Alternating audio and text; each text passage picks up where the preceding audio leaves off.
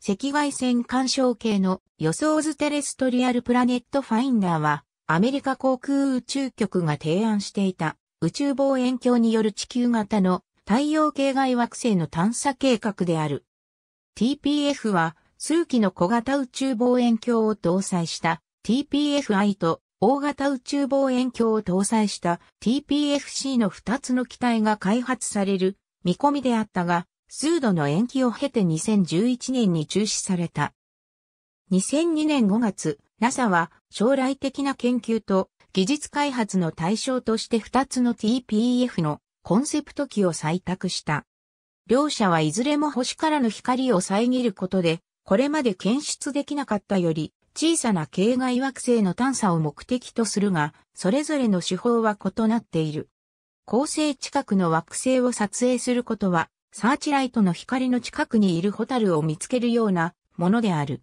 後に検出された惑星の地表や大気構成の動程及び生命活動の痕跡調査が計画に追加された。計画された宇宙機は以下の2機である。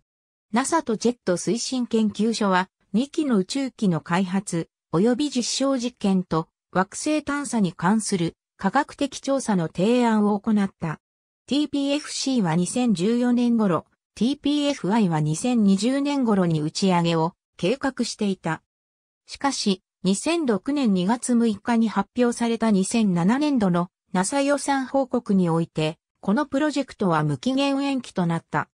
2006年6月に会員小委員会は TPF と地球外生命の存在が期待される木星の衛星エウロパの長期探査ミッションのための財政支援を決議した。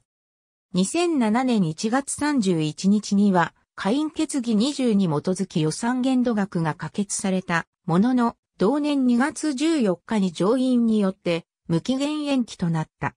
資金調達のめどが立たない企画段階のまま、2011年6月に TPF は開発の中止が報告された。AB、レイジアゲンストザダイイングオブザライト。Astrobiology Magazine、2011年6月7日、閲覧。 Overbye、Dennis、Finder of New Worlds。New York Times、https、 www.nytimes.com、2014、05、13、 science、finder of new worlds、HTML2014 年5月13日、閲覧。NASA Budget Statement。Planetary Society 2006年7月17日閲覧。NASA プレジデント SFI2007 バジェットリクエスト。ハットハウスサブカミーティヘルプス。セーブアワーサイエンス。プラネタリーソサイティ2006年7月17日閲覧。チャールズ・ Q・チョイ。 New Technique Will Photograph Earth。Like Planets。